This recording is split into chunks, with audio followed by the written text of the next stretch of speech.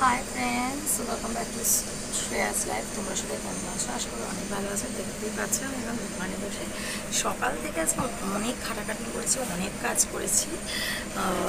মানে সব কাজ মিলিয়ে মানে তোমাকে কোনো কোনটা বলব আর কোনটা বলব না, ওটা কিছু বলতে পারছি না। তাও সবটাই বলছি। সকালবেলা উঠে ঘরের যা টুকটাক কাজ থাকে সেটা করেছি, কিছু জিনিস আনবার ছিল ওইটাকে এনেছি।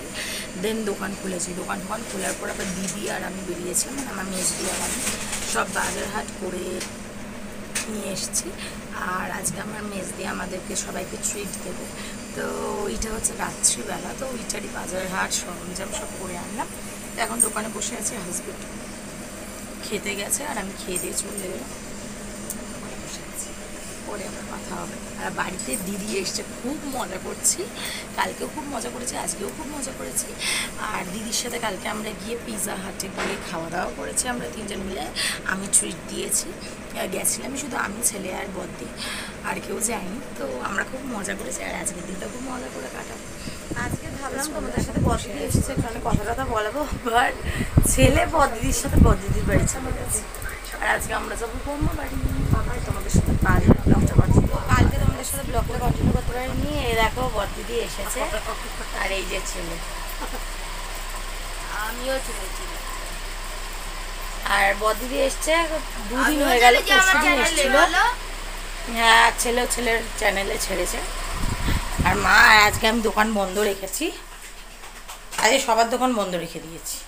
এই দোকানে এই যে মা এখন রান্না বান্না করছে।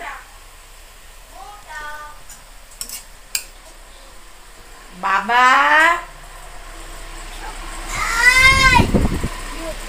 এই যে ওরা দুজন মিলে এখন পুচকু একটু আমার দিদিকে সম্মান দেয় না।